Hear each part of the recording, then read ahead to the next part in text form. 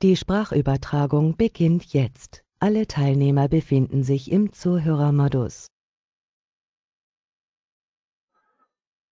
So, Freunde des Handels, ein herzliches Willkommen hier zu unserem monatlichen Webinar mit dem lieben Chris Stern vom Chiemsee hier an dieser Stelle und meiner Wenigkeit im Rahmen der technischen Clusteranalyse immer wieder spannend und immer wieder hervorragend, was wir sozusagen ableiten können. Ich bin gespannt, was aus unserem Trade Aussie geworden ist, lieber Chris. Ähm, hier hingehend ein kleines Intro noch von mir, dann bekommst du gleich das Mikro rüber. Ich schalte schon mal das Mikrofon an, sofern du dann schon mal bei dir einen Soundcheck machen magst. Kannst du dich jederzeit dazuschalten. Liebe Leute, ihr wisst es klarerweise, wir machen hier Live-Analysen und bieten auch sozusagen Trading-Ideen. Und da steht das Stichwort schon ganz vorn. Ähm, Trading-Ideen ist eben hier die Ableitung dessen, dass wir hier keine aktiven Handelsempfehlungen geben. Jeder muss das selbstverantwortlich kontrollieren. Hier geht es nur darum, wie man die Märkte analysieren kann, welche Vorgehensweise sich empfiehlt, um eben die Märkte zu beleuchten. Und hier hat eben der Chris Stern aufgrund seiner langen Erfahrung sozusagen hier eben dieses, sage ich mal, Konstrukt verschiedener Elemente ähm, entdeckt und insofern ganz spannend. Ähm, zum Aussie Trail selbst kann ich auch noch was sagen, ähm, denn ich bin da auch reingehuscht in diesen Short, allerdings schon wieder raus. Und insofern warten wir mal ab, was sozusagen hier noch dargeboten wird. Ich grüße erstmal den lieben Chris hier äh, rund um den Ether. Ja, einen wunderschönen guten Morgen in die Runde. Grüße zurück und Grüße an alle Teilnehmer hier vom äh, Chiemsee. Ich hoffe, euch geht's gut und ihr könnt mich gut hören. Super, davon gehe ich aus. Ich sehe auch schon gerade im Chat, der liebe Jörg, Andreas und der Ottmar lassen sozusagen schon Grüße da. Die geben wir natürlich auch hier nochmal rundum zurück. Und ich weiß nicht, wie gesagt, wir sind jetzt hier da nicht groß im Absprachekontext gewesen, was der Chris heute mitgebracht hat. Aber ich weiß, dass du ja auch mal gern abfragst, wenn es da Wünsche von Teilnehmern gibt. Sozusagen bist du an der Stelle auch offen, das mal zu begutachten, oder?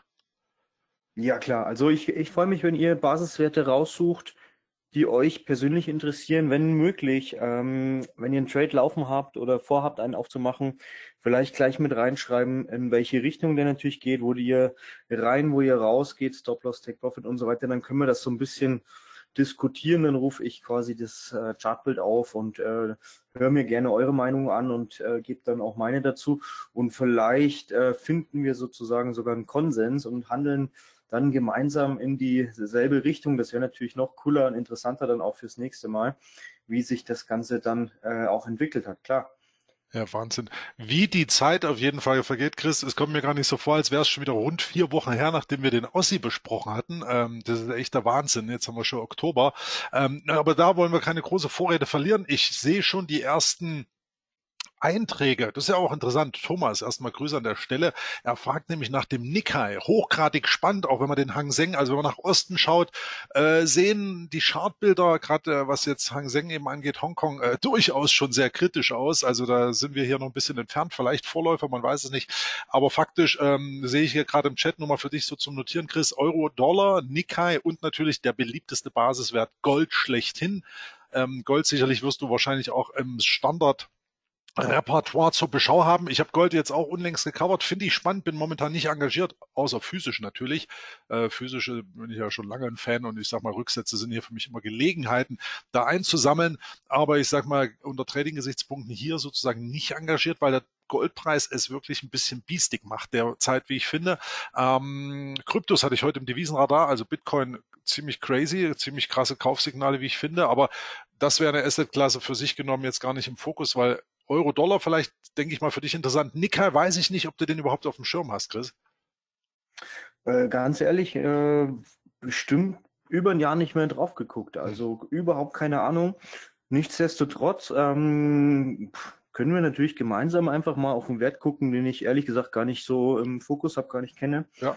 Und dann natürlich mal sehen, wie quasi unvoreingenommen das von 0 auf 100 sozusagen ich mir das anschaue, analysiere würde dann halt auch im Wochenchart anfangen, Seasonals mir anschauen und so weiter und so fort. Also das ganze Prozedere, was wir hier gemeinsam immer wieder gemacht haben jetzt, was ihr euch natürlich auch auf dem YouTube-Channel von äh, JFD immer wieder auch nochmal anschauen könnt. Und wo wir jetzt natürlich auch die Trades tracken können, die wir gemeinsam aufmachen. Also Nikkei, ich bin gespannt. ehrlich gesagt keine Ahnung, was da abgeht. Ähm, Gold können wir uns auch angucken, hatte ich äh, vorhin mir schon angeschaut. Bin nicht zu einem Trade gekommen mhm. und Euro, S-Dollar würde ich auch sogar gleich einen Trade mit euch aufmachen gemeinsam. Sehr gut, sehr gut, sehr gut. Chris, spannend. Den Link, äh, den Link zu einer Aufzeichnung jage ich gleich in den Chat rein. Wie gesagt, wir haben dann einen eigenen Place to be. Wenn ich das hier zeige, kommt man dann eh immer nicht zurück und denkt mir, was hat er jetzt geklickt? Ich, deswegen stelle ich den Link gleich parallel rein. Ich gebe aber jetzt erstmal dem Chris die Moderatorenrechte, sodass er loslegen kann. Wie gesagt, Euro-Dollar finde ich schon mal spannend. Bin ich auf jeden Fall mal wirklich interessiert, was du da für eine Einstellung hast. Insofern, Chris, bereit machen. Der Bildschirm-Switch erfolgt sogleich.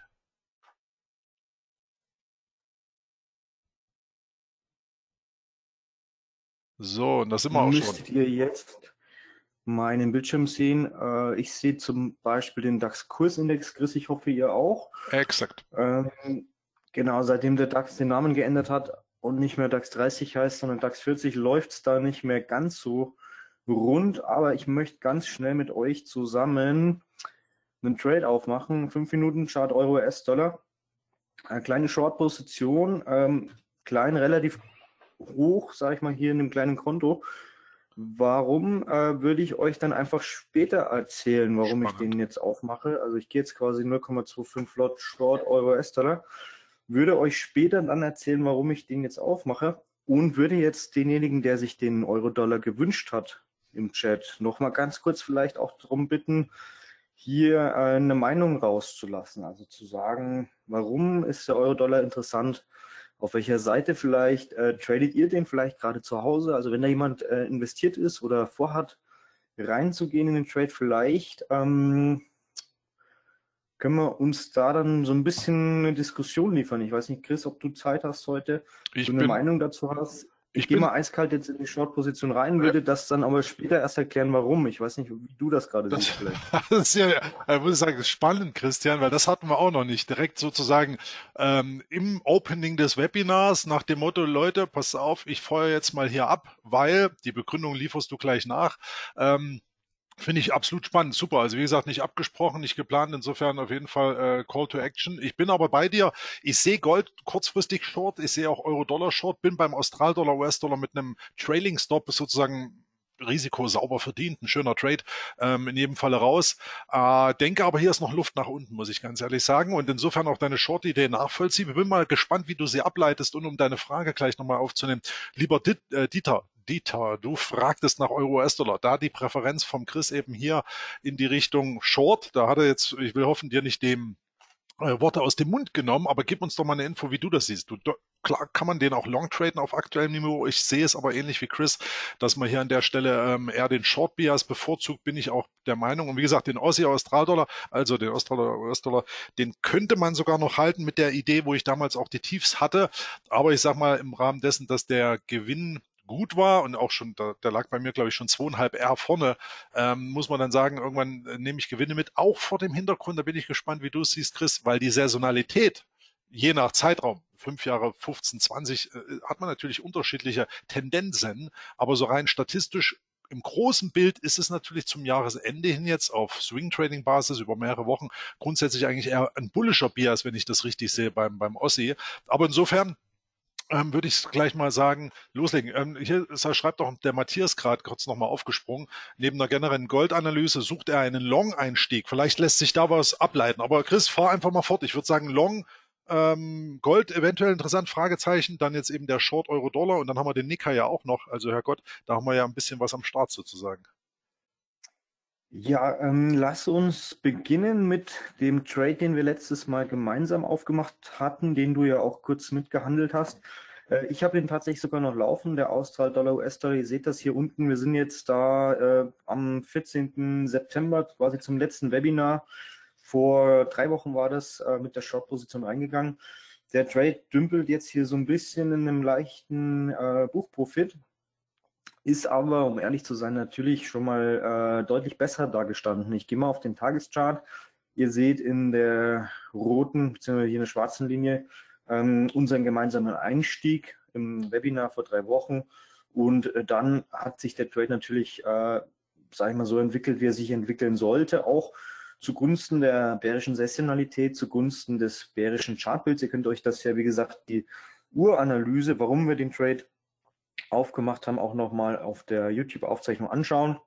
Also hier verschiedene Multi-Timeframes in Betracht gezogen, haben mit dem großen Chartbild im Wochenchart angefangen, haben die gleitenden Durchschnitte hinzugezogen, das Marktprofil, das Volumen, sozusagen Stick Volume, ähm, die Sessionalität, die klassische Chart- und Markttechnik ähm, mit eingebunden und sind dann eben zum Schluss gekommen, dass es hier gen Süden sich entwickeln sollte. Das war an sich auch ja gar nicht so dumm, die ganze Nummer. Jetzt ist es aber leider so, und das ähm, ist eigentlich das, was man vermeiden sollte, zumindest wenn man einen schlechten Broker hat, dass dieser Trade jetzt hier so bisschen in die Seitwärtsphase übergegangen ist. Also wir sind in einem leichten Buchgewinn, sind aber wieder weit Richtung Einstieg hochgelaufen. Wollte ich gar nicht unbedingt nochmal so weit hoch.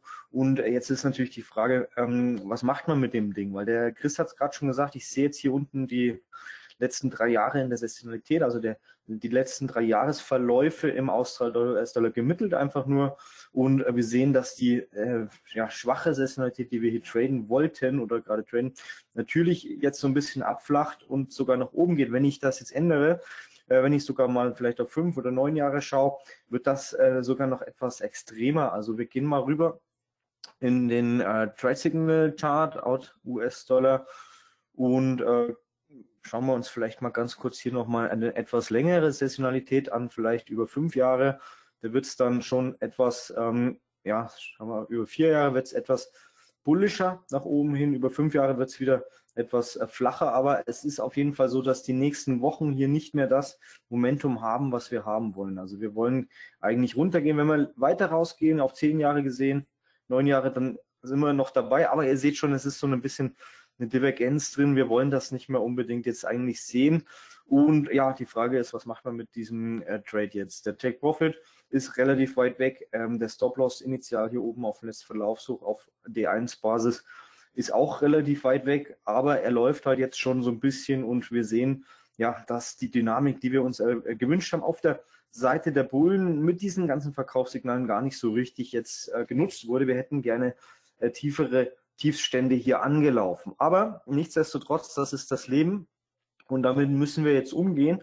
Und die einfachste Logik, die äh, ich jetzt daraus ziehen würde, beziehungsweise den einzig, äh, einfachsten Schluss daraus, mit diesem Trade in der Hand hier ist, ich muss ihn nicht zumachen zum Marktpreis und jetzt hier wegen äh, 70 Euro da den, den Trade beenden. Ähm, die helfen mir nicht unbedingt weiter, was ich aber auch nicht unbedingt ähm, ja, machen muss, ich muss diese Idee noch nicht aufgeben, weil das Chartbild an sich hat sich ja nicht großartig verändert. Also wir sind im Austral-Dollar, US-Dollar Wochenchart unter dem EMA 200, unter dem EMA 50. Wir haben diese SKS-Formation ausgelöst, die, wie wir das letzte Mal ja gelernt haben, noch nicht so richtig hundertprozentige Kursziele erreicht hat. Das heißt, wir müssen, wenn wir das Kursziel unten antragen, hier durchaus davon ausgehen, dass noch der Schub nach unten stattfindet. Wir haben die Saisonalität, die etwas schlechter wird, als wir das initial äh, uns ja, erwünscht hatten, gesehen hatten. Aber es ist auch noch nicht so richtig hier etwas, was dagegen spricht. Auch das Makroprofil und so weiter. Da hat sich ja jetzt erstmal nichts verändert. Was ich jetzt aber mache, ist äh, den Trade sozusagen ähm, mit einem Friss oder Stirb auf äh, ja, weiter zu fahren. Das heißt, ich ziehe jetzt einfach den Stop-Loss nach von initial Tages- äh, bzw. markttechnischen Verlaufstyp Tageschart auf Einstand. Das heißt, ich gebe dem Trade jetzt sozusagen nochmal Luft zu atmen mit einem aber relativ engen Stop-Loss. Das heißt, er läuft dann entweder jetzt in unsere Richtung oder er lässt es eben und ich lasse mich zum Einstand ausstoppen. Ihr könnt übrigens, und das ist jetzt nicht, äh, weil wir jetzt hier das äh, Webinar bei JFD machen oder so, äh, ihr könnt so ein bisschen auch die Qualität eures Brokers ableiten von den äh, Swap-Kosten. Der Trade läuft jetzt schon relativ lange. Wir laufen jetzt, wie gesagt, seit drei Wochen hier schon in die Short-Richtung. Wir haben Negativ-Swap gegen uns. Wer das nicht kennt, das ist die äh, Übernacht-Finanzierungskosten, die der Broker sozusagen verlangt, damit diese Position ähm, aufrechterhalten wird. Und ihr seht quasi die Kommission, die gibt es bei jedem Broker, die ist entweder äh, einzeln angegeben oder wird in den Spread mit reingerechnet und ihr seht die Swap-Kosten. Und die werden sozusagen jede Nacht etwas mehr. Und es gibt durchaus Broker, die fressen hier mit der Zeit eure Positionsgewinne auf, indem dieser Swap nach drei Wochen ähm, viel, viel größer ist. Das heißt, wenn ihr einen guten Broker habt, dann ist es nicht so schlimm, dann kann man den Trade laufen lassen, weil ihr seht, das bringt uns nicht um. Aber ich will den Trade jetzt, der eigentlich sich nicht so entwickelt hat, wie er sollte, aber auch noch nichts dagegen spricht, sozusagen noch eine kleine Chance geben. Aber ich will auch das Ding jetzt nicht mit hier äh, in die Buchhaltung 2022 mit reinnehmen. Das heißt, wir ziehen jetzt Stop-Loss hier quasi auf Einstand nach und äh, dann ist im Grunde genommen äh, ja Riss oder Stück. Chris, was würdest du machen mit dem, mit dem Trade? Mm, also wie gesagt, der war ja schon wirklich ansehnlich vorne. Du hast das vorhin schön dargestellt. Der hätte, hätte Fahrradkette, da habe ich übrigens jetzt auch gerade zwei Einträge noch im Chat, gehe ich gleich nochmal mit drauf ein. Ähm, im Endeffekt hatte ich dem Trade sozusagen weniger Spielraum gegeben als du und das letzte Momentum hat mich eben rausgespült, weil ich mit dem Trade dann sozusagen ähm, eben in den Gewinn gegangen bin schon. Also das eine R, wie man so schön sagt, das Risiko komplett habe ich abgesichert und da hat es mich dann letzte Woche bei den, wir sehen das gerade hier im, äh, äh, nee, das ist ja der Stundenchart, aber die Tageschartkerzen äh, lassen genauso ein Bild in Erscheinung treten. Ähm, genau hier die letzten äh, zwei, drei Tage, die waren dann eben dann doch zu viel des Guten und da hatte ich den Stopp auf H4, also vier Stunden Basis, relativ eng nachgezogen. Und dann bin ich eben mit plus 1,1 R oder was raus, ähm, eben aufgrund dessen, dass so ein bisschen die Fantasie dann fehlte und auf den ähm, Punkt gebracht, wie du es jetzt machst, ist generell absolut korrekt. Du sagst, der Trade ist gut angelaufen.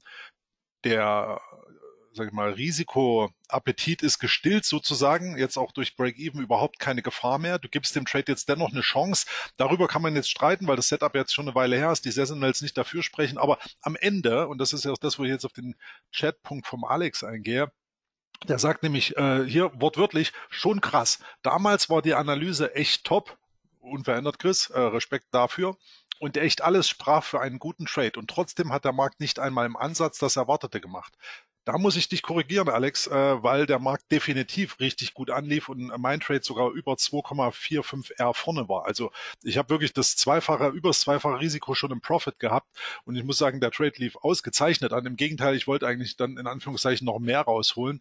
Ähm, insofern ist die Frage, wie du das ansetzt. Und klarerweise, alle Indikatoren oder Setups, oder welche, äh, sage ich mal, Dinge man auch verwendet. Wichtig ist hier natürlich, man ist immer im Wahrscheinlichkeitsuniversum. Das heißt, den 100 Prozent trotz bester Ausgangslage Trade wird's nie geben. Du musst hier einfach immer, sage ich mal, diversifizieren, idealerweise natürlich auch auf mehrere Trade-Ideen setzen ähm, und natürlich nicht nur ein Trade fokussieren. Ähm, du bist ja auch der Alex, der den Forex Bull nutzt. Ich hoffe, du hast damit de deinen Spaß. Wichtig auch da genauso, die statistischen Kennzahlen sind nicht immer das, was den Trade sozusagen 100 Prozent ins Ziel bringt. Das wirst du wissen. Hier muss man auch diversifizieren und eben auch noch die eigene Analyse anbringen. Und da ist es eben sehr individuell. Und wie Christus macht, ist hervorragend, garantiert aber natürlich auch keine Gewinne. Und eine Frage, die ich jetzt noch drin habe, Chris, ähm, wegen Euro-Dollar äh, kein Stop-Loss wird hier gefragt. Also ähm, was ist da los? Warum hast du da nicht einen Stop gesetzt? Ich denke mal, da wirst du noch drauf eingehen. Und ergänzend zum Euro-Dollar ist hier die Geschichte, ähm, dass hier der liebe Dieter ab 1,16 schon short im Long-Term ist. Also er hat sozusagen hier den, den Long-Term-Ansatz sozusagen äh, im Fokus und sieht eben hier den, ja, fundamentalen Background gegeben, so dass der Euro eigentlich erstmal fallen sollte. Aber jetzt auf der anderen Seite äh, hat er so ein bisschen Sorge, dass er eben über 1,16 doch erstmal hochdreht, wo dein Short jetzt hier in Anführungszeichen so ein bisschen eben auch ihn da ein bisschen beruhigt, will ich mal sagen. Hm, da können wir ja, wie gesagt, nochmal drauf eingehen. Aber jetzt habe ich schon wieder viel zu lange gesprochen über den Austral-Dollar-S-Dollar-Trade. Letztlich bei mir im Säckler. Deine ähm, sage ich mal, Vorgehensweise absolut nachvollziehbar und insofern lassen wir mal die Märkte sprechen.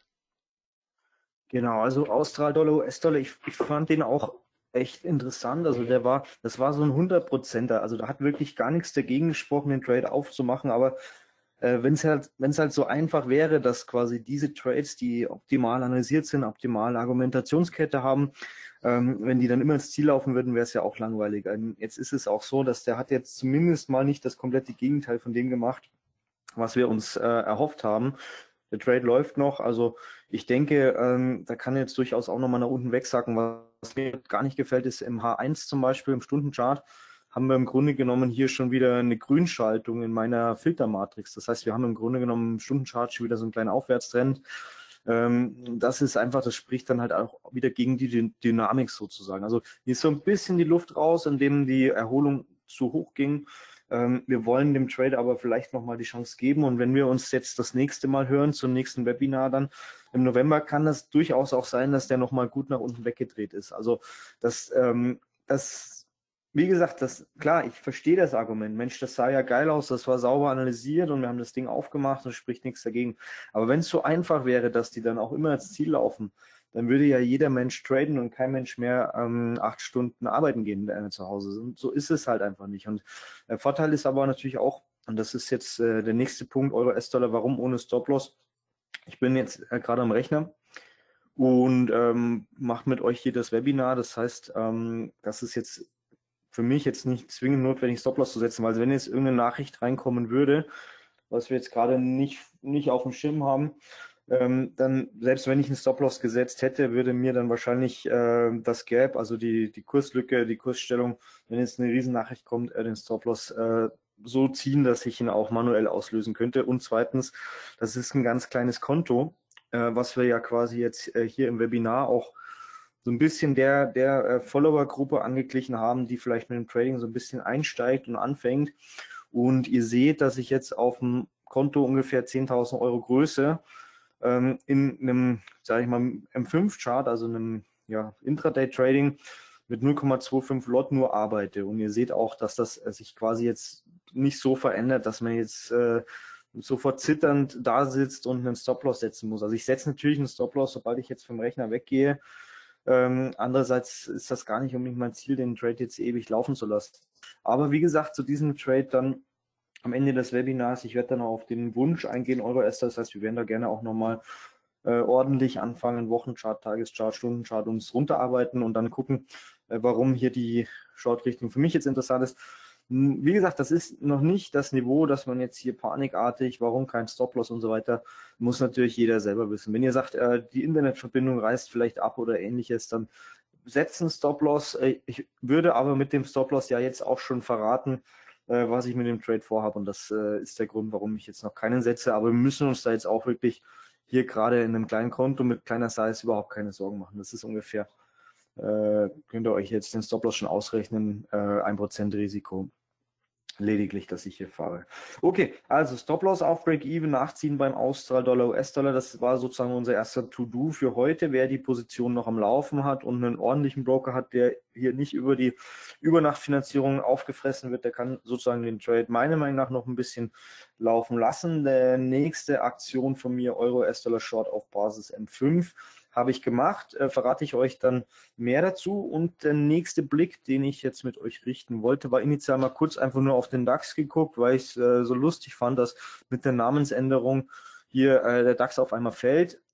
Kursindex exkludiert Dividenden, Gewinnausschüttungen. Hier nochmal das langfristige Chartbild. Wir haben eine schöne rote Kerze, seitdem quasi diese Umfirmierung stattgefunden hat. Und äh, ja, jetzt könnte man mal überlegen, wo es denn hingehen kann auf der Südseite. Äh, Im Performance Index Tageschart sehen wir, kommt der EMA 200 jetzt ähm, dem Kurs entgegen. Das heißt, der wirkt natürlich als Stütze und äh, sollte den äh, DAX jetzt so ein bisschen Stabilität geben. Wenn das nicht funktioniert, seht ihr schon am Marktprofil sozusagen die nächsten Kursziele nach unten. Was auch interessant ist, wenn man mal ein Fibonacci hier über die ganze Nummer drüber zieht, vom, sag ich mal, letzten markanten Fraktal, das liegt relativ weit weg, äh, vom Allzeithoch sozusagen im Performance-Index über das letzte Fraktal 38,2 seht ihr, da ist noch viel Luft, das geht noch weit nach unten. Also wenn die 200-Tage-Linie fällt, dann ploppen wir wahrscheinlich hier auf die Volumina drauf und werden uns äh, tatsächlich in eine kleine Korrektur äh, hinweggeben. Fürs Trading uninteressant aus meinem, aus meiner Warte heraus handle ich den DAX nicht, wie ihr wisst, oder eher selten. Und von daher war das jetzt nur mal rein informativ, wen das interessiert. Der nächste interessante äh, Basiswert, den ich gerade noch auf dem Schirm habe, und das ist jetzt auch wieder so ein bisschen strategisch gedacht. Ich habe ja jetzt hier Austral-Dollar, US-Dollar sozusagen auf Einstand abgesichert. Das heißt, ich habe jetzt hier außer es entsteht eine größere Kurslücke, eigentlich keinerlei Risiko mehr. Das heißt, ich könnte mich jetzt auch wieder im Australdollar beziehungsweise im US-Dollar engagieren, ohne dass ich hier großartig ähm, ein Klumpenrisiko im Depot bilde, also ohne dass ich mein Risikomanagement ausmanövriere. Und da wäre aus meiner Sicht interessant, und da bin ich auch wieder auf ähm, Chris Kämmerers Meinung gespannt, der Austral-Dollar, ähm, New Zealand-Dollar gerade äh, hochinteressant. Jetzt gehen wir mal auf den Wochenchart. Und ähm, ja, äh, vielleicht geben wir dem Chris mal noch kurz eine Minute, ob er eine Meinung dazu hat, vielleicht sogar einen Trade am Laufen, wie ich ihn kenne. Ähm, und ja, was er dazu sagt hier. In, intuitiv auf den ersten Blick, wenn du nicht investiert bist. Du Fuchs, du spielst den Ball gleich wieder zurück, aber gut so, gefällt mir prima. In der Tat bin ich beim Australier Neuseeland oder nicht investiert. Ich war im äh, September zweimal ähm, im Intraday-Bereich dort am Start, weil ja der Ossi hatte schöne Bewegungsimpulse. Äh, aber auf Swing Trading Sicht bin ich hier in der Tat jetzt sozusagen ähm, nicht engagiert. Gleichwohl das Chartbild eigentlich zeigt, dass man, ja, ich sage, ich nenne es immer so Nachfragezone im Bereich 103 ist er abgeprallt. Es ist schon relativ deutlich, dass er da immer hoch spinnt. Ähm, man könnte jetzt durchaus mutmaßen, dass da noch ein Stück weit Luft auf der Oberseite ist. Interessant ja auch zu wissen, liebe Leute, ähm, wer den wir haben natürlich, wie Chris gerade schon sagte, jetzt den DAX jetzt hier nicht so im Fokus. Das gibt's dann mehr bei uns im Trading Room. Aber ich finde es klasse, dass Chris hier sozusagen auch immer die ja, Devisenmärkte im Fokus hat. Und der eine oder andere wird es auch mitbekommen haben. Hier gab es ja in der Nacht, gerade weil wir über den Australdollar sprechen, ja einen Zinsentscheid, beziehungsweise vielmehr keinen die äh, sozusagen ähm, RBZ, also die Nationalbank, die, die Notenbank von Australien, RBNZ, nee, RB, RBZ, RBNZ ist das, äh, RBA, so rum, jetzt habe ich es. RBNZ ist Neuseeland und RBA ist ähm, Australien. Die haben den Leitzins eben nicht verändert, aber gleichwohl hier die Zinsdifferenz da gegeben ist. Und ja, Australien, ihr wisst das, äh, schwippt irgendwie von Lockdown zu Lockdown, hängt am Nabel von China. Ähm, also so fundamental gesehen ein Stück weit kritisch der Australdollar, technisch, aber im Kontext zum Neuseeland-Dollar würde ich mal behaupten, könnte noch ein, ein Up-Move-Potenzial bestehen, also kurzfristig. Also, Freunde, warum ist das Chartbild so interessant? Zum einen, äh, es ist ein Chartbild, das uns nicht so viel Ärger verspricht. Also ihr seht, der eiert so ein bisschen sogar in der Nähe der Parität hin und her. Warum ist das so? Der bewegt sich quasi auf Deutsch gesagt gar nicht so krass volatil, so großartig nach oben, nach unten, weil natürlich ähm, diese beiden Volkswirtschaften sich so ähnlich sind. Also sowohl äh, räumlich eigentlich als auch äh, ja, von, der, von der Wirtschaftsstruktur her und so weiter, ähm, ist da eine hohe Ähnlichkeit da und äh, es ist ein schönes Chartbild, wo man entspannt hin und her traden kann. So, jetzt ist es aber so, wenn man sich den Chart jetzt mal so ein bisschen anguckt, ist die Tendenz schon, also wenn man jetzt hier quasi mit dem Schreibtischstuhl mal zwei Meter weggerollt vom Bildschirm und die Augen so ein bisschen zublinzelt, ist der Trend natürlich schon von links oben fallend nach rechts unten über dem Bildschirm. Und wir haben auch ähm, ja, gleitende Durchschnittslinien. Der Kurs ist runter, das heißt, wir sprechen vom Abwärtstrend, die hier ähm, mit dem Death Cross sozusagen EMA 50 schneidet den EMA 200 von oben nach unten durch, jetzt abfallen sind. Also wir haben lange Zeit uns quasi abwärts bewegt, dann aber auch über mehrere Monate, fast schon Jahre seitwärts bewegt und haben jetzt sozusagen wieder das Abknicken der Trendfilter. Die Trendfilter sind ja viel beachtet. Viele äh, große Institutionen entscheiden auch nach solchen Trendfiltern mathematisch natürlich, äh, in welche Richtung hier eher investiert wird oder Kapital abgezogen wird. Und was hochinteressant ist, wir haben, wenn man jetzt mal technisch das Ganze sich anschaut, auch hier wieder eine sehr, zwar unschöne SKS-Formation, aber wir haben im Grunde genommen eine Schulter, einen Kopf, eine Schulter und nach unten den Durchbruch. Wenn man jetzt natürlich eine Nackenlinie reinzieht, dann würde diese sozusagen noch gar nicht gebrochen sein. Es ist jetzt also keine Lehrbuch-SKS, aber wenn man sich mal in den Markt hineinversetzt, dass hier lange, lange Zeit versucht wurde, etwas Druck nach oben aufzubauen seitens der Bullen, das aber nie funktioniert hat und jetzt sozusagen sogar hier sich das Ganze nach unten entladen hat aus diesem mehrjährigen, mehrmonatigen Seitwärtsphase heraus, ist natürlich der Bär ganz, ganz klar im Vorteil. Und jetzt haben wir newstechnisch diese äh, bullische Kerze gehabt. Diese entspricht hier auch einer Art äh, Korrektur und die ist jetzt hier wieder im Volumen gelandet. Und den nächsten Blick würde ich gerne richten auf die sogenannte saisonale ähm, Projektionskurve. Also Seasonal Projection heißt das hier im Trade Signal. Wir sehen also jetzt hier, wenn wir mal das Ganze auf heute bzw. auf die laufende Woche richten,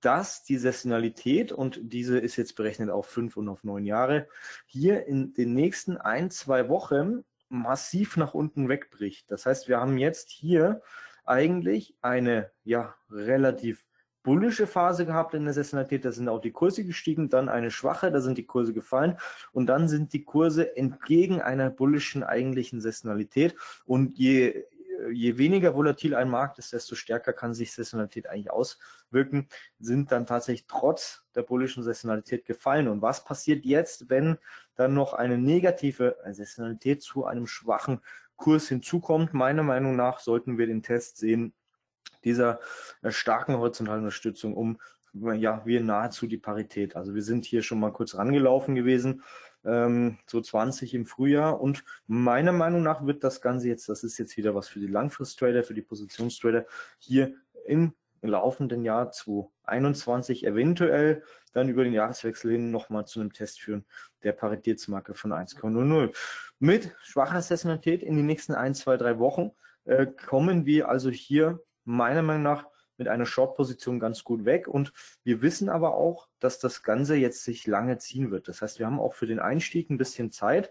Den würde ich nämlich technisch machen. Ich würde mich hier drauflegen auf diese Marke, auf diesen Kerzenkörper, diesen Close-Körper dieser Kerze, ähm, weil wir einfach wissen, dass die äh, Tochterlunden nicht so relevant sind in der Kursbildung. Das ist einfach das, was wirklich, in, wo der Markt hier sozusagen ins Wochenende sich verabschiedet hat, dass das relevante Kursmarken sind. Da sind wir ungefähr bei 1,050. Da würde ich sozusagen hier eine Short-Position aufmachen, mit dem Ziel tatsächlich hier in einen langfristigen Positionstrade auf der Short-Seite reinzukommen. Einfach aufgrund SKS, aufgrund Trendfeld, aufgrund äh, fallender gleitenden Durchschnitte Death Cross und aufgrund eben, wir nutzen eine ganz, ganz schwach vorausgesagte Saisonalität. Und wir haben auch schon gesehen, dass in der bullischen Saisonalität der Kurs trotzdem gefallen ist, also dass der Markt diese gar nicht nutzen konnte. Und das wird sich hier mit hoher Wahrscheinlichkeit aus meiner Warte heraus beschleunigen. Wie kann ich jetzt den Einstieg in den Trade machen? Entweder ich setze natürlich hier einfach ähm, meine Sell Limit Order in den Markt rein auf 1,050, ähm, habe aber das Problem, dass ich einen ganz schwierigen Stop-Loss ähm, ableiten kann, weil natürlich aus dem Chart heraus nach oben hin lange keine markante Marke kommt, also kein markttechnischen Verlaufstief. Was ihr machen könnt, ist, ihr könnt ähm, die ATR nutzen, also die Average True Range als Indikator und dann ein Vielfaches dieser ATR, was ja ein äh, Wohler-Indikator sozusagen ist, hier als Stop-Loss nutzen oder ihr könnt natürlich einfach euer Risiko-Money-Management äh, befragen, dass ihr also hier sagt, ihr macht den Stop-Loss so, wie es euer Konto eben noch aushält oder, äh, und ihr noch eine schöne Positionszeit handeln könnt. Ich würde den ATR ähm, bevorzugen, also einfach ATR-Indikator mal 4 rechnen, da den Stop-Loss setzen und den Take Profit natürlich hier Richtung 1,0050. Das wäre also mein Trade. Der Stop-Loss wird dann irgendwo liegen, hier Richtung EMA 200.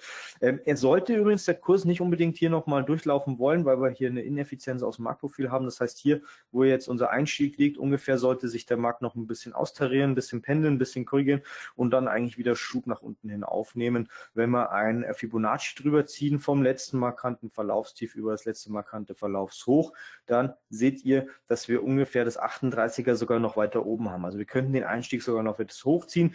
Ich hätte dann aber Bedenken, dass wir vielleicht den Trade verpassen. Also da, wo jetzt meine Linie liegt bei 1,050, äh, 70 ungefähr, ähm, die Short-Position aktivieren, entweder nach Risikomanagement äh, die Positionsgröße und Stop-Loss wählen oder nach ähm, vierfacher ATR. Da sollte man auf der sicheren Seite liegen.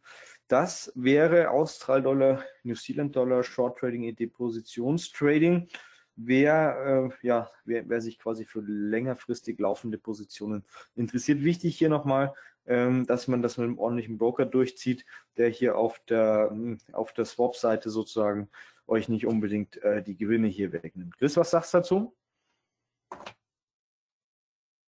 Das habe ich erstmal wohlwollend hingenommen, weil du genau in meine, meine Denke rein bist. Äh, kurzfristig sagte ich ja, und du hast ja jetzt den Wochenchart analysiert, dachte ich, oder habe ja auch angenommen, der spuckt nochmal sozusagen nach oben. Wie du schon sagst, die 105 hochinteressant, können wir sogar wirklich vorstellen, dass er ein bisschen überpaced. Also, dass er tatsächlich so eine lange, äh, so einen langen Docht, sage ich jetzt mal, auswirft, oder nicht einen langen, aber einen längeren vielleicht, um dann aber wirklich in der Saisonalität, und da finde ich das immer sehr, sehr synchron mit unserer ja, sage ich mal, Vorgehensweise, weil der Australdollar und Neuseeland-Dollar in der Tat nicht nur auf die letzten neun Jahre, sondern auch solange ich jetzt zurückgucken kann in der, sage ich mal, Forex-Statistik und das sind die letzten 21 Jahre. Seit 2000 hat sich ja der Retail-Markt so ein bisschen ähm, sag ich mal, dem Forex-Markt hingegeben, weil eben auch der Interbank-Markt sich dank der Technologie und so weiter und so weiter geöffnet hat. Und in der Tat, die letzten 21 Jahre um da nochmal einen oben drauf zu geben, ähm, waren, jetzt müsste ich direkt mal schauen, wenn man das jetzt von Anfang ähm, Oktober nimmt, und da ist, hast du aber noch so einen kleinen Drop nach oben halt, ähm, haben wir aber 13 Verliererjahre und 8 Gewinnerjahre im Schnitt. Und wenn du jetzt auf Ende Oktober gehst, und das könnte jetzt für den einen oder anderen auch interessant sein, verbessert sich die Quote sogar auf 15 Verliererjahre im Kontext zu sechs Gewinnerjahren. Also der Dip nach oben, der ist gut angenommen von dir. Ich könnte mir auch vorstellen, der kommt noch mal ein Stück hoch, um dann, und das ist dann so Ende Oktober, Anfang November, klappt der saisonal tatsächlich in der Masse der Fälle nach unten ein. Und ich finde es wirklich klasse, dass hier Chris eben auch mal solche Pairs vorstellt, eben nicht nur die Majors, sondern eben auch mal die, die, die Cross-Rates klassischer Natur. Und die lassen sich auch sehr gut handeln, wie du schon sagst, ähm, wenn der Broker natürlich nicht über Ohren, über die Ohren hat und JFD steht ja für JustFan direkt, insofern seid ihr da auf der sicheren Seite. Und ich will hoffen, dass jeder auch bei euch äh, oder von euch bei uns da schon ein Stück weit aktiv ist. Eine Frage speziell auch jetzt, die ich gleich aufnehmen will, lieber Chris, weil wir sehen hier sozusagen das Market Profile von ähm, Trade Signal auf deinem Schirm. Ähm, am MetaTrader hast du es ja auch abgebildet und da fragt der Günther, ob das das Umsatzvolumen ist, was du da siehst. Meines Erachtens sind das die Ticks, die Ticks, äh, nicht direkt das Volumen, sondern die Ticks, aber gibt da gerne mal ein kurzes Feedback und Günther fragt auch, ob das ein kostenpflichtiges Tool ist. Da kann ich sagen, dass wir ja mit Chris Stern schon seit längerer Zeit dran arbeiten und es wirklich nur noch um wenige, ja, ich will gar keinen Tag sagen oder Momente vielmehr geht, bis wir hier so ein Stück weit ein Paket aus Intraday und Swing Trading Sicht äh, gebaut haben für euch. Das ist ein Thema, da weiß Chris Bescheid, da haben wir erst unlängst, um nicht zu sagen vor kurzer Zeit drüber gesprochen. Ähm, und dieses Tool wird es sozusagen dann auch tatsächlich äh, nutzbar geben. Und ähm, das wäre jetzt eben die Frage, was das genau ist vom Günther, äh, ob da das Umsatzvolumen abgebildet wird oder was das genau ist. Okay, das sind jetzt äh, natürlich interessante Fragen. Nochmal zum einen auch nochmal zu dem, was du gerade gesagt hast, also der Dip nach oben ich habe das jetzt mal so ein bisschen stilisiert hier mit den Pfeilen, ist sozusagen einzuplanen und es macht den Einstieg schwierig. Man könnte sich jetzt natürlich als Trader so behelfen, dass man sagt, okay, ich will am Wochenchart langfristig den Short Trade traden. Aber ich habe natürlich jetzt im Tageschart, also in tieferen Zeiteinheiten, hier in dieser Phase natürlich, ähm, und dazu sollten wir mal kurz reingehen in den Tageschart, ähm, jetzt hier schon mal diese Aufwärtstrendsituation. Wenn ich mir das jetzt also angucke, sieht der Tageschart natürlich schon viel bullischer aus. Das heißt, wir haben einen langen Abwärtstrend gesehen und der Tageschart hier ist nach oben gegangen. Das heißt, ich kann natürlich auch jetzt, wenn ich den Plan habe, das Ganze nach unten durchzutraden, auch hier im Bereich meines geplanten Einstiegs, also rote Linie oder meinetwegen 38er Fibo, hier mir Trennwendeformationen oder einfach ähm, die Kerzen anschauen und dann den Short auf Basis des Tagescharts aufmachen. Das heißt, ich kann auf lange Dochte, lange Lunden nach oben hin warten. Ich kann auf Trendwendeformationen achten, beispielsweise Doppeltop, Triple Top, wie ich es hier oben sehe. Das ist also, dass sich hier ein Horizontalwiderstand ausbildet im Tageschart, eine SKS-Formation vielleicht oder einfach diesen Trendbruch dann äh, hier monitoren. Also das heißt, ich muss jetzt nicht hier blind reingehen. Das war jetzt sozusagen eher meine Herangehensweise, weil ich bin dann relativ ähm, ja, grün mit dem ATR, weil das, wie gesagt, einfach ein Wohler-Indikator ist. Ähm, der sagt mir also, welche Schwankung wäre jetzt normal zu erwarten. Und wenn ich das dann einfach ein Vielfaches nehme für meinen Stop-Loss, dann wäre das eben nicht mehr normal und dann äh, würde eben meine Position den Markt geworfen. Aber wie gesagt, ihr könnt das natürlich auch dann mit der Basis, dem Wissen aus dem Wochenchart heraus, diesen Trade dann aktiv im Tageschart oder vielleicht sogar im Stundenchart traden, wenn ihr Zeit dafür habt. Das war jetzt nur mal so nochmal für diejenigen, die etwas äh, längerfristig traden, die vielleicht berufstätig sind, die vielleicht gar nicht die Chance haben, jeden Tag sich die Charts anzugucken. Ähm, Euro S-Dollar werden wir gleich das Gegenteil dann noch machen. Und äh, ja, zum Marktprofil, also wir haben hier natürlich ähm, im Euro S-Dollar beispielsweise jetzt hier auch ein Marktprofil im MetaTrader, was ihr wie gesagt dann auch über, über JFD beziehen könnt.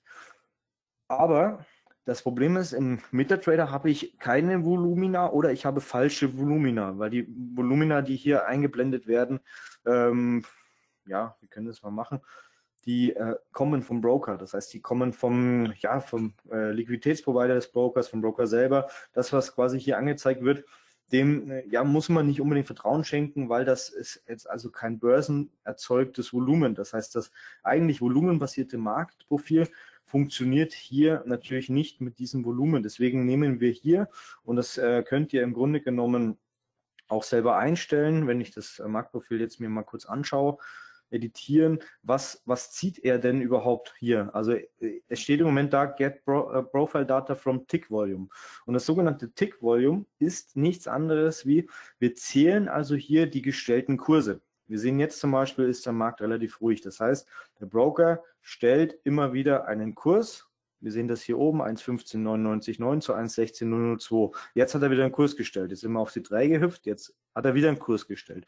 Und wenn der Markt sehr, sehr aktiv ist, dann stellt der Broker uns sehr, sehr viele Kurse. Und wenn der Markt sehr ruhig ist, beispielsweise auch in den Abendstunden, Nachtstunden, dann stellt uns der Broker sehr wenige Kurse. Und daraus bilden wir hier ein sogenanntes Behelfsvolumen auf Basis der Ticks. Wenn ihr das aber jetzt beispielsweise, wir sind jetzt hier in einem äh, Spotmarkt Forex, Euro S-Dollar, ähm, quasi in einem Markt, der nicht an einer echten Börse gehandelt wird, sondern wo viele ähm, ja, Marktteilnehmer miteinander Geld tauschen am sogenannten Spotmarkt. Ähm, dieser Markt hat aber natürlich auch einen äh, Future, einen sogenannten 6E Future, der an einer Börse gehandelt wird und auch ein echtes Volumen hat. Und wenn man sich jetzt, oder genauso ist es auch für Gold übrigens, wenn ihr euch bei Gold das ähm, Big Volume anschaut, dann könnt ihr das natürlich beispielsweise mit dem äh, Future der COMEX, also diesem GC-Kontrakt, vergleichen. Wir sehen also jetzt hier im MetaTrader, äh, dass Tick-Volume-basierte ähm, Marktprofil und wir sehen natürlich im Trade Signal drüben dann ähm, das Marktprofil aus dem Future heraus, also mit den echten Volumen. Und wir haben das jetzt über viele Jahre, also weit über 20 Jahre, auch immer wieder verglichen mit den echten äh, börsengehandelten Volumina von den äh, Futures-Börsen äh, und das haut hin. Also das haut hin, insbesondere ab Stundenchart aufwärts. Äh, Im M5-Bereich, ähm, im 5-Minuten-Chart und so weiter, im 1-Minuten-Chart haut das weniger hin weil natürlich da einzelne Orders ähm, quasi eher durchschlagen als jetzt hier die Masse. Aber ihr könnt das äh, durchaus nutzen. Es, es hat eine unglaublich hohe Übereinstimmung. Der Nutzen, die äh, ja, die Schlüsse, die wir als Trader daraus ziehen, sind dieselben und äh, wie gesagt, es kostet einfach nichts für euch. Also ihr müsst euch keine Daten irgendwo ziehen, müsst keine äh, teuren Tools kaufen und ihr könnt das hier im MetaTrader intuitiv sozusagen, wir sehen in Gold im Moment entweder friss oder stirb hier unten ranlaufen oder hier oben ranlaufen.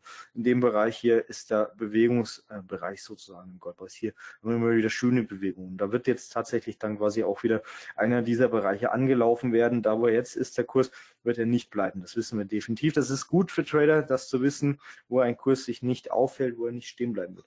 Äh, so viel zum Marktprofil bzw. Tick Volume Profile. Wie gesagt, wir bilden ein Behelfsvolumen aus den äh, vom Broker gestellten Ticks, was aber aus meiner persönlichen Erfahrung heraus sehr, sehr gut übereinstimmt mit dem echten äh, Volumina der Futures. Wir sind nun mal hier in einer Plattform, äh, die auch quasi semi-professionell genutzt wird und natürlich dadurch keine Kosten verursacht. Der Broker er schenkt euch ja sozusagen die MT4-Lizenz, die ist aber relativ teuer.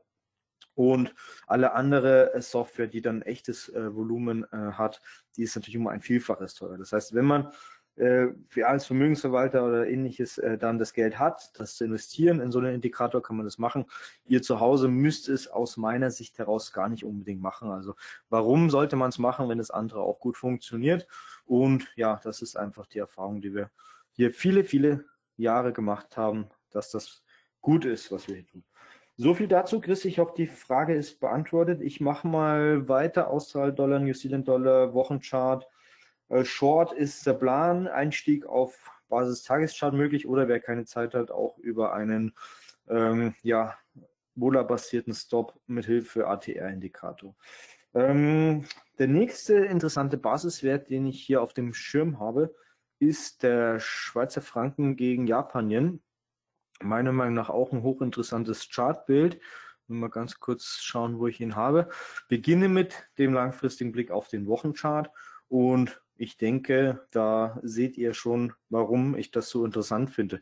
Chris, willst du eine Meinung dazu rauslassen? Hast du eine Meinung zu Schweizer Franken Japan zufällig oder sogar eine Position laufen?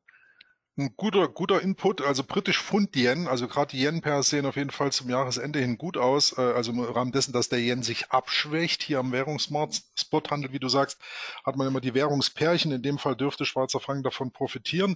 Ähm, bin nicht positioniert, aber wie gesagt, hervorragende Vorstellung vom Aussie-Trade gegen Neuseeland-Dollar, könnte man auch mit ähm, gestaffelten Positionen theoretisch arbeiten, aber das ist wieder ein Thema, das würde dann das Webinar sprengen, muss eben jeder, und das ist auch eine als Handelsempfehlung zu äh, sehen, weil wir jetzt noch einige Teilnehmer mehr drin haben. Klarerweise sind das Trades, die Chris hier verfolgt, die er sozusagen ähm, mit darbietet. Und es ist natürlich nie als Handelsempfehlung zu verstehen. Und wer reingeht, wie reingehen will, das kann man eben zum Beispiel auch mit gesplitteten Positionen machen. Umso zu sagen, sich gegebenenfalls mehr und mehr einzukaufen in die Trendbewegung. Aber Schweizer Franken Yen, ähm, hochgradig spannend. Wie gesagt, britisch Pfund Yen habe ich auf dem, äh, auf dem Schirm, weil der nämlich auch einen schönen Boden hat, von wo er nach oben gesprungen ist und ähm, sieht interessant aus. Ähm, Habe ich sozusagen Schweizer Franken tatsächlich nicht auf der Pfanne gehabt, würde ich aber mal ergänzend dazu nehmen zu meinem Bias. Wie gesagt, ich nehme da auch durchaus immer gern was mit aus unseren Webinars, äh, um auch nochmal so einen Seite-Way-Blick auf das eine oder andere Part zu werfen, was ich dann manchmal entweder übersehen habe oder schlichtweg wegen dem Klumpenrisiko gar nicht mehr auf der Pfanne hatte. Aber da bin ich in jedem Falle ähm, hochgradig interessiert. Und wegen dem Profile, ich denke, das ist dann sozusagen da angekommen, auch schön beschrieben, Chris. Ähm, Gerade der Liquiditätspool ist immer wichtig, ähm, aber es ist natürlich auch nicht vergleichbar mit einer Präsenzbörse. Das ist ganz wichtig. Und insofern denke ich mal, ist Günther auch hier abgeholt worden. Ähm, Genau, und mehr haben wir jetzt eigentlich nicht. Insofern, ich bin jetzt gespannt auf Schweizer Franken Yen. Ähm, ich vermute schon, wohin die Reise gehen kann, weil ich britisch Pfund Yen, um das vorwegzunehmen, auch ein Stück weit äh, bullischer eingestellt bin. Also Wochenchart, langfristiges Bild. Wir schauen uns äh, den Geldfluss über mehrere Jahre an, um erstes Gefühl für das Währungsbärchen zu bekommen, wer es jetzt auch vielleicht nicht verfolgt. Es ist ja fast schon Exot. Ähm, dann ist immer quasi der erste Blick fließt eher Geld rein, fließt eher Geld raus. Und wenn man sich jetzt ein bisschen in den Markt reinversetzt, wir sind quasi hier 2016 kommen, 2017, 2018, 2019, 2020, immer in einer Seitwärtsblase gelaufen, haben sehr, sehr oft und sehr, sehr markant eine Widerstandszone ausgebildet, 118,25. Und ähm, ihr seht, dass da wirklich ein massiver Widerstand im Markt lag und dass wir den dann in der Folge über diese mehrjährige Seitwärtsphase mit einem Druckaufbau, also einem Aufwärtstrend in dieser Seitwärtsphase an steigenden gleitenden Durchschnitten, das sogenannte Golden Cross, sehen wir hier wieder, ähm, einmal angelaufen sind, kurz getestet haben und dann das Ding nach oben aufgedeckelt haben. Das heißt, im Grunde genommen hat der Bulle hier mehrere Jahre dran gearbeitet, hier den Schweizer Franken nach oben rauszudrücken, hat das dann auch recht fulminant geschafft und was auch, das ist so ein bisschen äh, Lehrbuchchart. Wir haben hier also die Kraft aufgebraucht, um den Widerstand zu überwinden, sind dann mit dem Trend gelaufen und haben dann aber auch wieder die Korrektur, die Erholungsphase gebraucht für den Bullen und diese ist gelaufen bis an das alte Widerstandsniveau. Das wurde dann natürlich zur Unterstützung und diese haben wir auch schon wieder bestätigt. Das heißt, wir sind im Grunde genommen hier auch wieder mit einer markanten Reaktion aus dem äh, jetzigen Unterstützungsbereich nach oben rausgeploppt. Das heißt, der Chart sagt uns, dass die 11825 sozusagen aktiv ist, sehr, sehr stark ist und dass wir diese Marke auch für die Zukunft natürlich nutzen können. Das ist jetzt erstmal der erste Eindruck aus diesem Chart heraus. Gleitende Durchschnitte haben wir schon angesprochen. Das heißt, die sind alle ansteigend. Der markttechnische Trend ist mit äh, markanten Hoch- und Tiefpunkten wunderbar da. Das heißt, er ist auch noch relativ jung, weil wir jetzt erst auf der Seitwärtsphase sozusagen wirklich in den Trend übergehen. Und ja, aus charttechnischer Sicht spricht hier auch eigentlich nicht viel gegen einen Long Trade. Warum Long? Natürlich, wie gesagt, weil wir hier nach oben jetzt diese Formation aufbrechen. Zum anderen aber auch möchte ich wieder euren Blick richten auf die äh, sessionale Erwartung. Ganz kurz. Ähm, wir zoomen uns mal ein bisschen ran. Wir haben hier wieder eine sessionale Projektion über neun Jahre. Das ist also hier diese Forward Curve und wir haben hier die sessionale Projektion über fünf Jahre. Und wenn wir also jetzt hier mal den heutigen Tag bzw. die aktuell laufende Woche uns einzeichnen, ist es durchaus so, dass wir im neun Jahresbereich schon die Long-Position aufmachen können und auch im fünf Jahresbereich hier noch ein bisschen Wuller erwarten und dann hier auch durchaus hier in die richtige Richtung arbeiten. Das heißt, die Argumentationskette verdichtet sich jetzt wieder hier für einen bullischen Trade, den wir hier mit einem sehr, sehr guten Gewissen aus meiner Sicht heraus zumindest äh, abliefern können. Der Einstieg ist zum einen Market möglich, das heißt, wir können zum aktuellen Kurs einsteigen, wir können aber auch sagen, wir warten nochmal hier äh, ein bisschen Schwankung ab, würde ich aber gar nicht machen, weil wir haben den Widerstand, äh, diese Unterstützung bestätigt. Wer sagt uns denn, dass wir da jetzt nochmal hinlaufen? Und äh, wenn ihr euch das Marktprofil anschaut, ist eigentlich der Bereich, wo der Kurs hier ein, zwei Tage mal wieder reingelaufen ist, kurze Zeit, im Grunde genommen ja, eineinhalb Wochen ungefähr sich aufgehalten hat, gar nicht so interessant aus Sicht des Volumens heraus. Das heißt, wir sollten jetzt eigentlich zügig den Trend fortsetzen können. Wir haben hier auch schon so eine kleine äh, Keilformation, so ein Dreieck, was sich zusammenzieht. Das heißt, hier wird wieder Druck aufgebaut und der sollte sich jetzt zügig hier nach oben entladen können. Und das ist jetzt für die Positionstrader, für die Langfrist-Trader interessant. Ihr könnt jetzt Market hier mit Long-Position einsteigen, Stop-Loss und das letzte marktliche Verlaufstief legen von vor drei Wochen. Habt eine Mega-Trade, weil nach oben hin ist das Ding erstmal offen. Habt ihr also auch ein ordentliches CRV. Wir könnten uns jetzt natürlich hier irgendwo ähm, noch ein Take Profit raussuchen anhand der letzten Verlaufstiefs, quasi markante Hochpunkte anvisieren. Da wäre dann also hier nochmal so ein Bereich, selbst wenn wir da schon den Take Profit setzen, auf diesen markanten Punkten, dann macht der Trade richtig, richtig Spaß und richtig Sinn.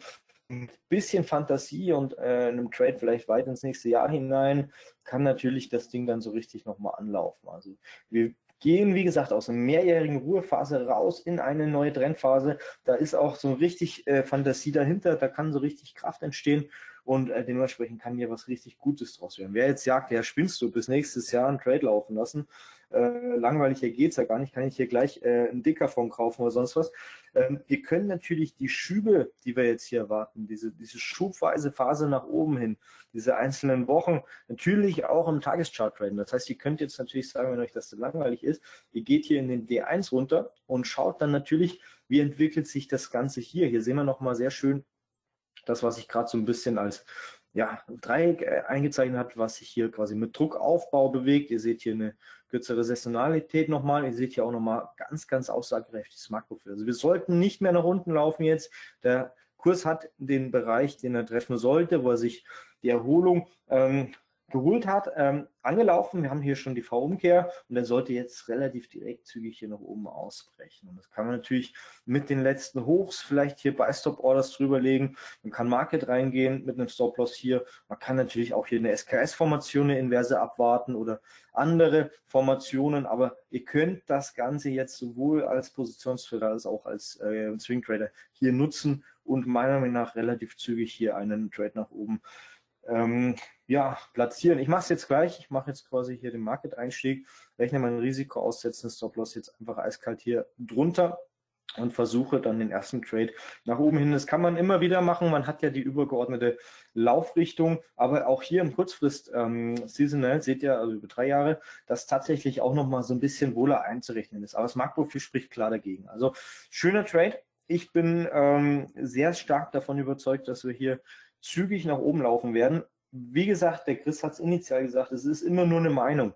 Wir haben es gesehen, Austria Dollar US, das war auch mega geil, das zu analysieren. Es hat Spaß gemacht, aber im Endeffekt, äh, was jetzt dabei rausgekommen ist, war natürlich auch noch nicht so äh, ja, das, was wir unbedingt haben wollten. Ich schaue jetzt nochmal auf den Euro-US-Dollar, aber ich habe Angst, dass wir den sonst vielleicht nicht mehr ähm, erklären können. Wir sind hier im Grunde genommen immer noch am Einstiegsniveau. Es hat sich jetzt leider nicht so viel getan. Ich habe auch mit dem Einstieg extra auf Webinar gewartet, sonst hätte ich das heute früh schon gemacht.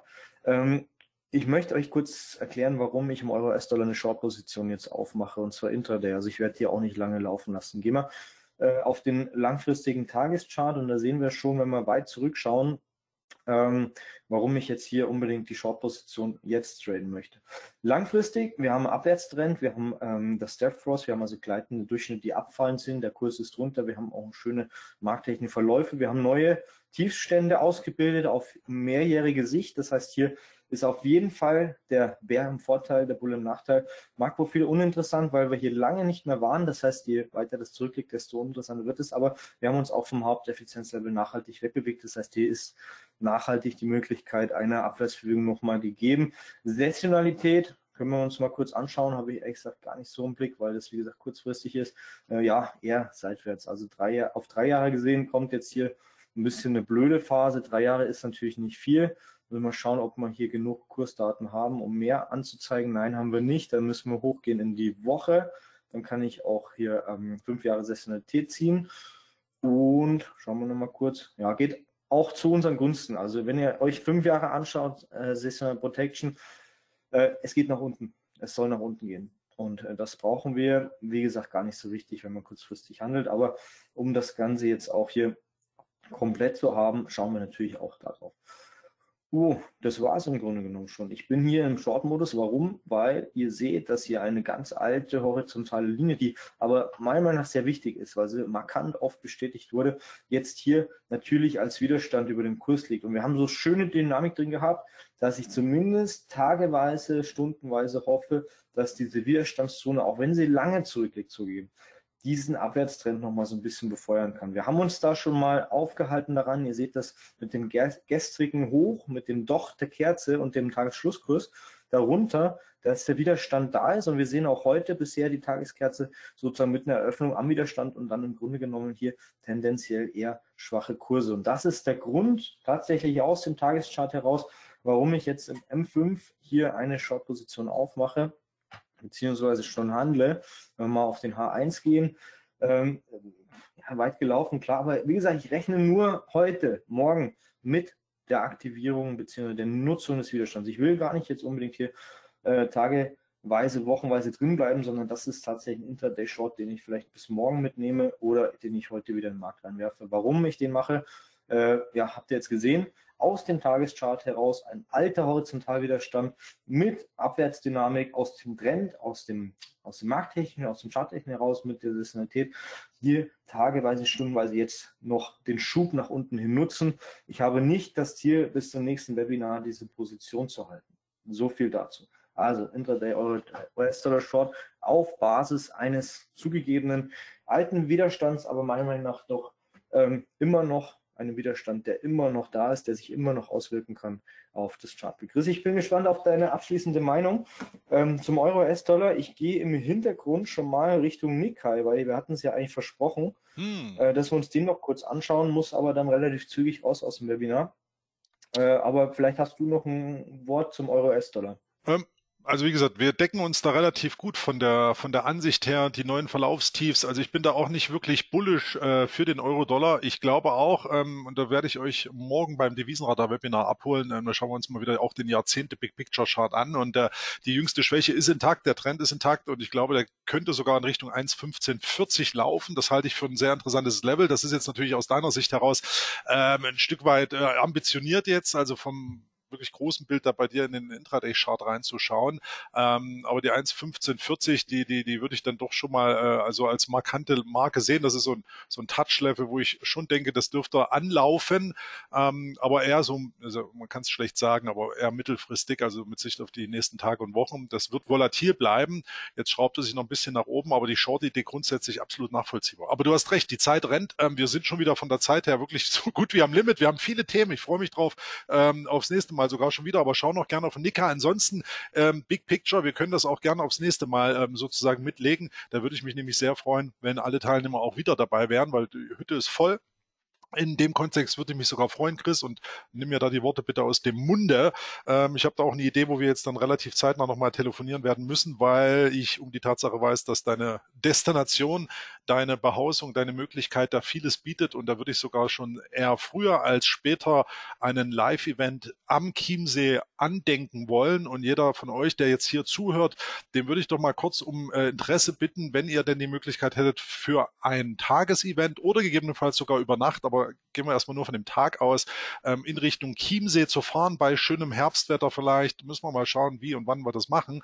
Aber wer von euch wäre denn da bereit, mal in die bayerischen Gefilde zu fahren oder wenn sie aus der Gegend kommt, Österreich lässt er grüßen oder eben auch äh, die bayerischen Bewohner, ähm, wer denn da Lust hätte, hier mal live dabei zu sein, wenn wir mal sozusagen einen ganzen Tag ein Stück weit Education, ein Stück weit ähm, ja Marktbesprechung, aber auch das, was wir hier durchführen, Live-Analyse, Live-Trading machen. Ähm, teils mir das mal bitte im Chat mit und dann würde ich sagen, das Schlusswort ist dann dir mit dem Nickei, den zeichnest du gerade schon fleißig. Ähm, aber da würde ich auf jeden Fall gerne mal auf das Feedback hier in der Gruppe äh, hoffen, wie das für euch ist. Mein Corona, wir wissen alle um die Tatsache, dass es hoffentlich äh, mittelfristig sowieso viel besser wird, aber momentan möchte ich da auch einfach mal aufwerfen, wer von euch, die denn jetzt dabei sind, Interesse hat. Also schreibt's mal rein und insofern, Chris, nimm den Nickei noch kurz, kurz durch. Der sieht übrigens wesentlich besser aus als der Hang Seng, obwohl ich irgendwie so ein bisschen Doppeltop-Feeling habe. Äh, der Hang Seng sieht wirklich noch grottenschlechter aus. Der ist echt in einem Abwärtstrend. Aber ähm, deine Meinung, Your Stage, warten wir mal ab und ich freue mich auf das Feedback von den Zuhörern.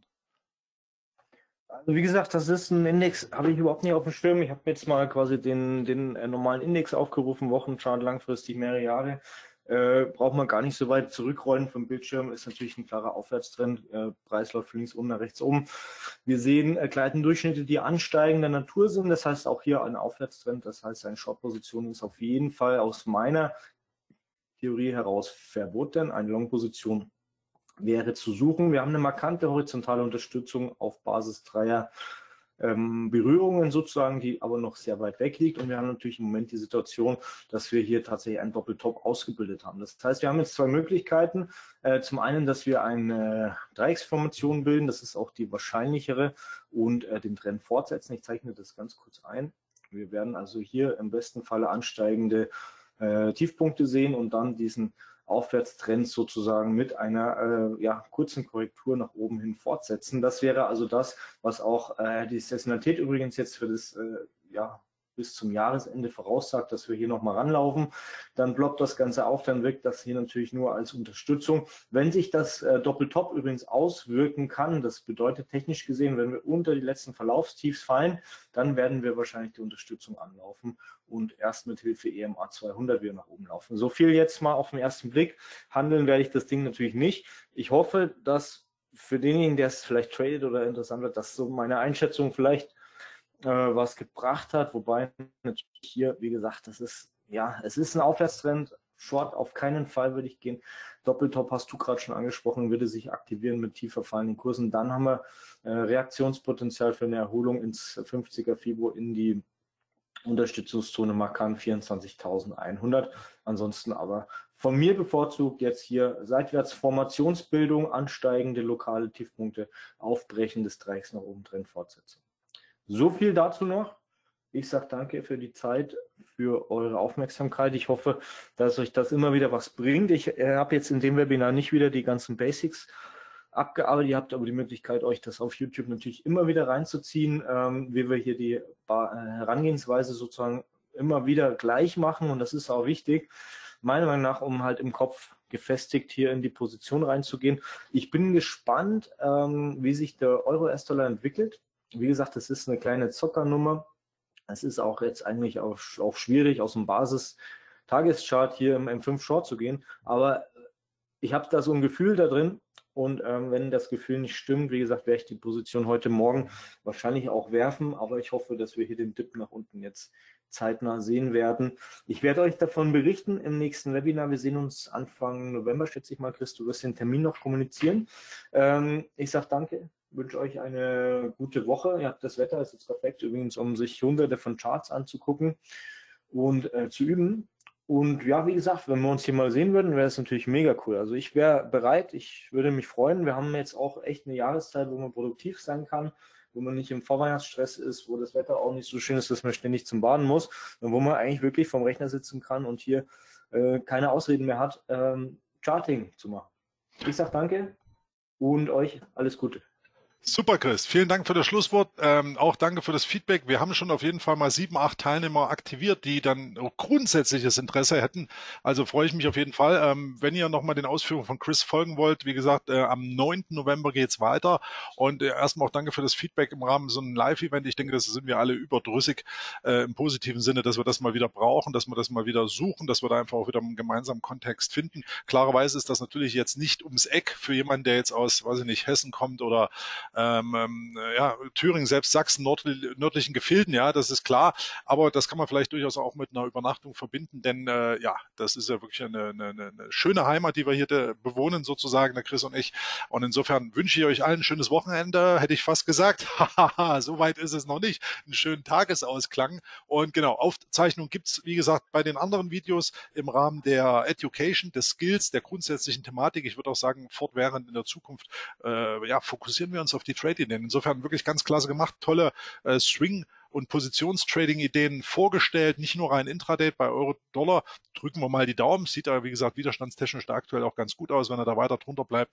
Ähm, könnte, schrägstrich sollte der Trade auch aufgehen. Also in dem Sinne, lange Rede, kurzer Sinn. Vielen Dank für eure Teilnahme. Vielen Dank für deine Zeit, Chris. Und wir hören uns eh bald wieder aufgrund diverser Absprachen. Und jedem anderen wünsche ich dann hier auf jeden Fall eine gute, gute Zeit. Übrigens, ähm, bevor sich jeder ausklingt, jetzt sind schon ein paar gegangen, verdammte Axt. Ich hätte früher schon sagen sollen, äh, wer Interesse an so einem Live-Event hat, kann uns doch auch gerne E-Mail schreiben.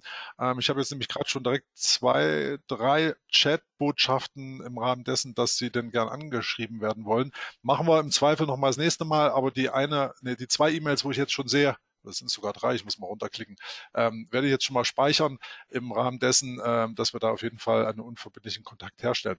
Wenn ihr bei JFD seid, werdet ihr das eh erfahren, weil dann wird man das auch im Rundmailer bekannt geben. Aber jetzt erstmal schön mit Ö, Jörg, Anita sogar, Matthias, Dieter und Co. Vielen Dank und ciao dabei. Tschüssi.